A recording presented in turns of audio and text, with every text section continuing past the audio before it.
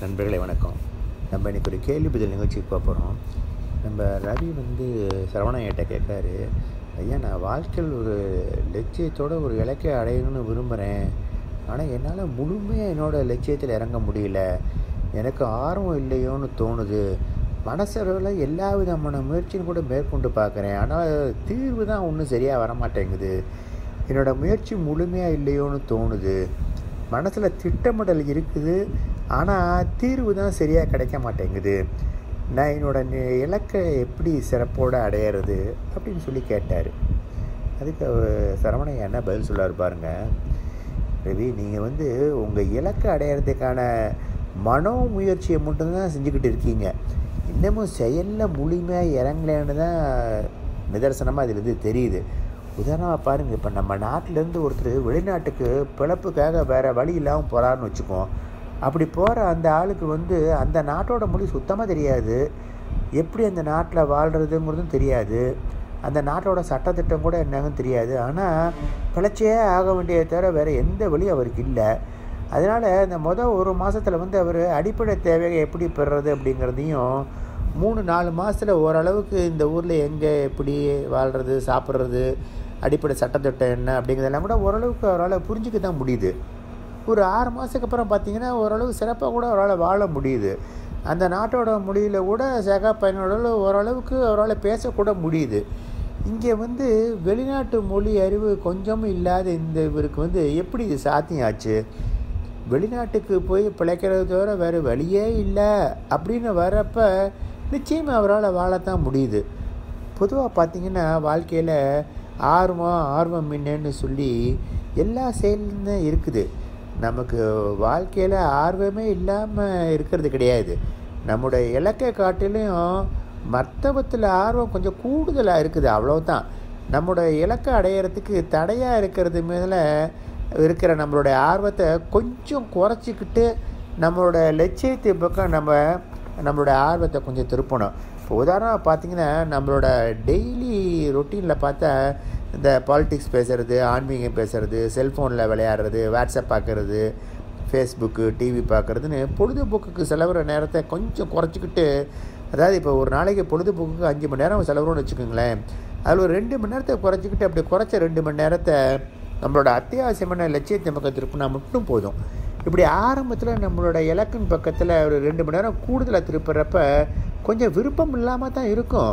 ஆனால் நாட்கள் போக போக அந்த ரெண்டு மணி நேரமே மூணு மணி நேரமாக கூட மாறிவிடும் நம்மளோட இலக்கின் மீதான கவனம் கொஞ்சம் கொஞ்சமாக அதிகரிக்கிறது நம்மளுக்கே தெரியாமல் கூட அப்படியே அதிகரிச்சுட்டே போகும்.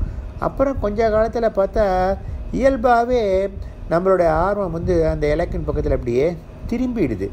இப்படி இலக்கின் பக்கம் மட்டும்தான் சிந்திக்கணும் அப்படின்னு நம்மளோட மனசை போய் கட்டாயப்படுத்தக்கூடாது இந்த இடத்துல. இலக்கினோட முக்கியத்துவத்தை நம்ம மனம் புரிஞ்சுக்கிட்டா போதும். நாம் நம்மளுடைய பொழுதுபோக்கு நேரத்தை நம்மளோட இலக்கின் பக்கம் கொஞ்சம் திருப்பினா மட்டும் போதும். நம்மளுடைய இலக்கின் பக்கம் கவனத்தை செலுத்தாமல் இருக்கிறதுக்கு நம்ம வேறு சில விஷயந்தான் பிடிச்சிட்டு இருக்குது. அப்படிங்கிறது தான் இந்த இடத்துல காரணமாக கூட இருந்துகிட்ருக்கு இப்போ உதாரணமாக பாருங்கள் ஒரு ஸ்கூல் பையனுக்கு படிப்பு தான் முக்கியம்னு தெரிஞ்சிருந்தால் கூட அது மேலே அவனுக்கு ஆர்வம் கொஞ்சம் கூட வர்றது கிடையாது. வெறுப்பும் எதிர்ப்பும் தான் அவனுக்கு இருக்குது ஆரம்பத்தில் ஒரு பாடத்தை படிக்கிறப்ப கொஞ்சம் கஷ்டமாக தான் இருக்கும். கொஞ்சம் நல்லா படித்து புரிஞ்சுக்கிட்டது பிறகு அந்த பாடத்தை நம்முடையதாக நம்முடைய வழியில் புரிஞ்சுக்கிட்ட பிறகும் அந்த பாடத்தை நம்ம சக மாணவனுக்கெல்லாம் எடுத்து புரிய வைக்கிற அளவுக்கு கூட அந்த ஸ்டூடெண்ட் அப்படியே தயாராகிடுறாரு. திரும்ப அந்த பாடத்தை எடுத்து படிக்க வேண்டிய அவசியம் கூட இருக்க மாட்டேங்குது. ஒரு தடவை சும்மா அப்படியே எடுத்து பார்த்தாலே மேம்போக்காக பார்த்தா கூட தானாக அவனுக்கு எல்லாமே நினைவுக்கு வந்துடுது அதனால் நம்முடைய இலக்கு வந்து நம்முடையதாக ஆகாத வரைக்கும் தான் அதுக்கான முயற்சியில் நம்ம மேற்கொண்டுட்ருக்கணும். நம்முடைய இலக்கு நோக்கி செயல்பட செயல்பட நாமே நம்முடைய இலக்கை அப்படியே மாறி போயிடுறோம். ஆர்வமும் அதனால் தன்னாலே வந்துடுது நம்முடைய இலக்கு மீது ஆர்வத்தை முதல்ல நம்மளாக திருப்பணும். அப்புறம் நம்மளோட இலக்கை நம்மளை இப்படி பிடிச்சிக்குது. அதுக்கப்புறமா பொழுதுபோக்கு நேரத்தை குறைக்கிறத பற்றியெல்லாம் நம்ம யோசிக்க கூட வேண்டியதில்லை. அதை நம்முடைய இலக்கே தானாக பார்த்துக்குது. இப்போ உதாரணமாக தண்ணீர் வந்து ஒரு பாதை வழியாக ஓடிட்டுருக்குன்னு வச்சுக்கோங்களேன். அந்த பாதையில் தண்ணீர் ஓடுறதுனால நம்மளுக்கு எந்த பயனும் இல்லாமல் இருக்குது நமக்கு தெளிவாக தெரியுது. நம்மளுக்கு தண்ணீர் தேவையான பக்கம் உண்மையில் ஒரு பள்ளம் கூட இருக்குது. ஆனாலும் அந்த பக்கம் தண்ணி வர்றதுக்கு தடையாக ஒரு சிறிய மண்மேடு இருக்குதுன்னு வச்சுக்கோங்க. நம்ம வந்து நம்மளோட முயற்சினால் அந்த மண்மேட்டை மட்டும் கொஞ்சம் கரைச்சிட்டா போதும். அந்த சிறிய மண்மேட்டை கரைக்கிற அளவுக்கு நம்மளோட முயற்சி தான் தேவைப்படுது இந்த இடத்துல. அதுக்கப்புறம் நமக்கு தேவையான பக்கம் தண்ணி தானாகவே வந்துடுது. அப்புறம் தேவையில்லாமல் தண்ணீர் போய்கிட்டு இருக்கிற இன்னொரு பக்கம் அப்படியே மெல்ல மெல்ல குறைஞ்சி போய் தேவையான பக்கம் தண்ணீர் தானாகவே திரும்பிடுது. இதை பற்றி நம்ம நாளைக்கு இன்னும் கொஞ்சம் பேசலாம். நன்றி வணக்கம். நண்பர்களே வணக்கம். நம்ம நேற்றுக்கு இந்த இலக்கியம் நோக்கி சிறப்பாக எப்படி செயல்படுறதுங்கிறத பற்றி பேசிகிட்டு இருந்தோம். நீங்கள் தொடர்ச்சியாக கேட்கலாம் வாங்க. இப்போ நம்ம எல்லாத்துக்கும் வாழ்க்கையில் ஒன்றும் ஆர்வம் இல்லாமல் இல்லை.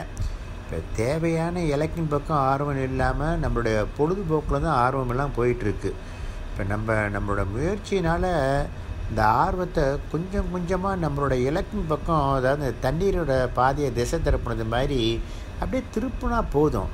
அதுக்கப்புறமா நம்மளுடைய ஆர்வம் முழுக்கமும் நம்மளோட இலக்கின் பக்கம் தானாகவே அப்படியே திரும்பிடும். இங்கே நம்ம செய்ய வேண்டியது வந்து நம்மளுடைய ஆர்வத்தை வந்து நம்மளுடைய இலக்கின் பக்கம் திசை திருப்புறது மட்டும்தான். இப்போ பார்த்திங்கன்னா பள்ளி படிக்கிற பிள்ளைங்க எல்லாமே பள்ளி பாடத்தை மட்டும் வெறுப்போடு ஆர்வம் இல்லாமல் பா இருந்துக்கிட்டு இருக்காங்க. மற்றபடி அவங்க செல்ஃபோனில் விளையாடுறது வாட்ஸ்அப் பார்க்குறது ஃபேஸ்புக் பார்க்குறது டிவி பார்க்குறது கார்ட்டூன் பார்க்குறது கம்ப்யூட்டர் கேம்ஸ் விளையாடுறதுன்னு எல்லாத்துலேயும் ஆர்வமாக தான் இருக்காங்க. பள்ளி பாடத்தில் மட்டும்தான் அவங்களுக்கு ஆர்வம் இல்லை. மற்றபடி வேறு விஷயத்தில் ஆர்வமாக தான் இருந்துகிட்டு இருக்காங்க. இப்போ நம்ம என்ன செய்யணும்? இந்த பொழுதுபோக்கு விஷயத்துக்கு தடை விதிக்காமல் அதுக்கு செலவிடுற நேரத்தை மட்டும் கொஞ்சம் குறைச்சிக்கிட்டால் போதும். எஞ்சிய நேரம் தன்னாலேயே பாடத்தின் பக்கம் திரும்பிடும்.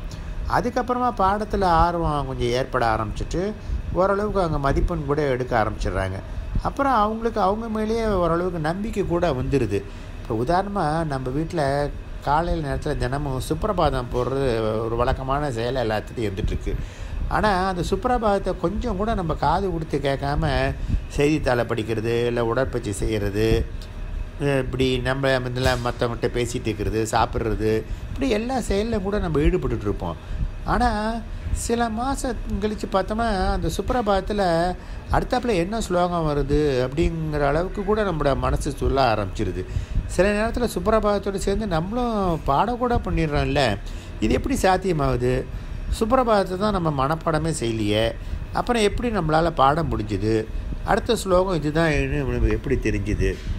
இப்படி கொஞ்சம் கூட கவனம் செலுத்தாத சுப்பிரபாதத்தை தினம் கேட்குறப்பவே நம்மளோட மனசில் பதிஞ்சு போகுதுன்னா நாமளே கவனமாக இலக்கின் பக்கம் செலுத்துகிறப்ப நிச்சயம் நல்ல ஆர்வம் தானாக ஏற்படத்தான் செய்யும். பொதுவாக பள்ளியில் படிக்கிற மாணவனுக்கு பாடத்தில் ஆர்வம் இல்லைங்கிறதும் எனக்கு வேலையில் நல்ல வாய்ப்பே கிடைக்கலன்னு ஒருத்தன் சொல்கிறதும் அடிப்படையில் ஒரே விஷயமாக தான் இருந்துகிட்ருக்கு இந்த மாணவன் வந்து தன்னோட பொழுதுபோக்கு நேரத்தை கொஞ்சம் கொஞ்சமாக குறைச்சிக்கிட்டு பாடத்தோட பக்கம் கவனத்தை திருப்பணும்.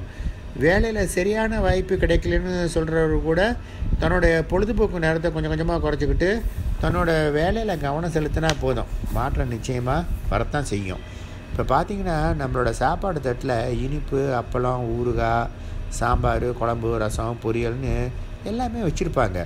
இதில் சாப்பாடும் குழம்பு தான் மெயினான அம்சமாக இருக்குது அதுதான் நம்மளோட இலக்காக கூட இருக்குது இந்த அப்பளம் ஊறுகாய் இனிப்பு எல்லாம் சாப்பாடு சிறக்கணும் அப்படிங்கிறதுக்காக சேர்க்கப்பட்டது தான் அதெல்லாம் நம்மளோட பொழுதுபோக்கு மாதிரி வச்சுக்கொண்டி தான் இப்படி எதுவுமே இல்லாமல் கூட இந்த வெறும் சாப்பாடு குழம்பு மட்டுமே கூட நம்மளால் சாப்பிட முடியும். ஆனால் இந்த வெறும் அப்பளம் இனிப்பு ஊறுகாயை வந்து நம்ம சாப்பாடு மாதிரி சாப்பிட முடியாதுங்கிறது தான் இங்கே உண்மையாக கூட இருக்குது. இது மாதிரி நம்மளோட இலக்கோட முக்கியத்துவத்தை மனசு புரிஞ்சுக்கிட்டால் போதும். நம்மளுக்கு எப்பெல்லாம் இலக்கில் கவனம் வருதோ அப்போல்லாம் நம்ம இலக்கின் பக்கம் செயல்பட்டால் கூட போதும். நிச்சயம் நம்ம வந்து நம்ம இலக்கை அடைஞ்சிடலாம். நம்மளுடைய இலக்கே வந்து நம்மளுடைய இலக்கை அடையிறதுக்கான திட்டமிடல் அதாவது பிளானிங் எல்லாம் கூட தானாகவே உருவாக்கி கொடுத்துருது. அதனால் நம்மளோட மனசுக்கு நல்லா தெரிகிறப்ப மட்டும் நம்ம வந்து நம்மளோட இலக்கின் பக்கம் கவனத்தை செலுத்தினா போதும். நன்றி வணக்கம். அனைவருக்கும் அன்பான வணக்கம். ஸ்ரீ பகவத் ஐயா அவர்கள் நம்மோடு வாழ்ந்து கொண்டிருக்கும் ஞானி. இவரால் ஞான தெளிவு பெற்றவர்கள் பலர்.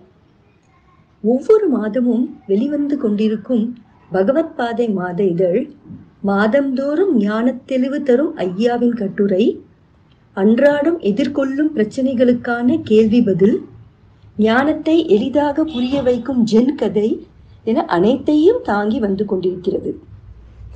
பகவத் பாதை தற்போது ஒளிபாதையாக திருச்சி குழந்தை நல மருத்துவர் டாக்டர் முத்துக்குமார் அவர்களின் உரையில் வெளியிட்டுள்ளோம்.